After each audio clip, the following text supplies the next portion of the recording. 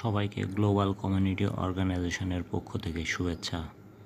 আজ থেকে দুই বছর আগে একটি শিশু একটি গাছ প্রকল্পকে সামনে রেখে তেইশে আগস্ট ত্যাগী ফাউন্ডেশনকে নিয়ে কাজ শুরু করে গ্লোবাল কমিউনিটি অর্গানাইজেশন। এই সংগঠনের দুই বছর পূর্তি উপলক্ষে টি শার্ট বিতরণ, গাছ লাগানো এবং একটি আলোচনা সভার আয়োজন করা হয়েছে।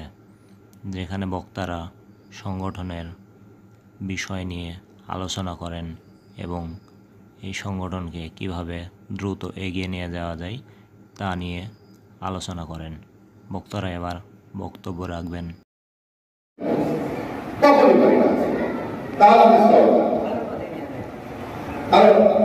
আমি স্টপ করি। বলেই কিন্তু আমার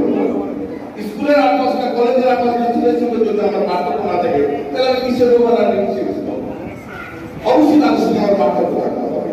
এই যে যে কাজটা আমরা যে এখানে, যে মহৎ কাজের জন্য এখানে উপস্থিত হয়েছি, যে কথাগুলি শোনার জন্য আমরা এখানে উপস্থিত হয়েছি, সেটা কিন্তু এখানে স্বাগত বক্তব্য শেষে সভাপতি সাহেবের বক্তব্য এবং আগত প্রধান অতিথির বক্তব্য এবং আরও আলোচনা করেন গুলশান স্যার। এরপরে আয়োজিত আরও বিশেষ অতিথিবৃন্দ তাদের মূল্যবান বক্তব্য প্রদান করেন।